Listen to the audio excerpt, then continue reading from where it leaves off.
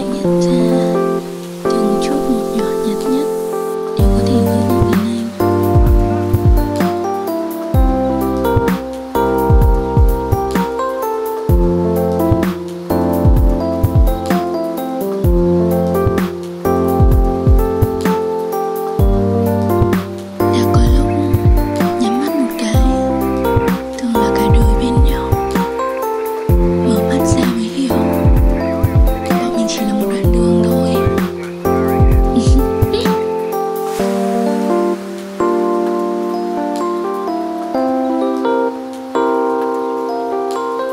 thank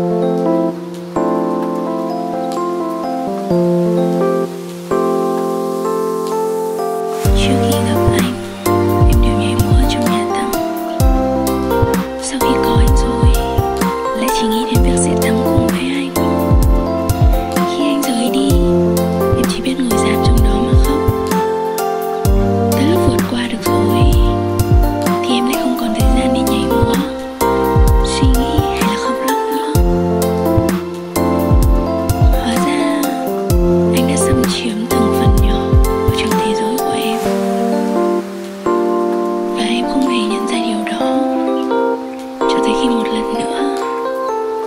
Em lại có thể nhảy múa ở đó.